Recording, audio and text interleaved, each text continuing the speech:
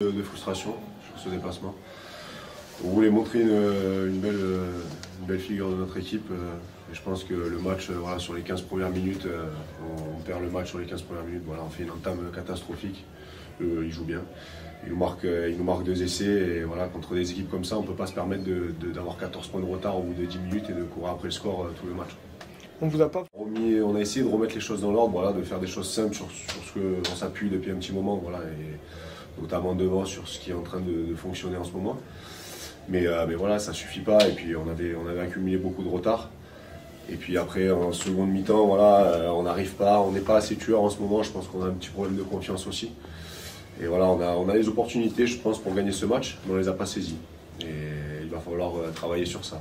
en deuxième mi-temps, pourtant au score vous êtes toujours accroché, toujours très proche. hein. Au final vous échouez à, à plus de 10 points, mais Ouais, vous êtes ouais. quand même resté très proche au score. hein. Ouais, on est au coude à coude, mais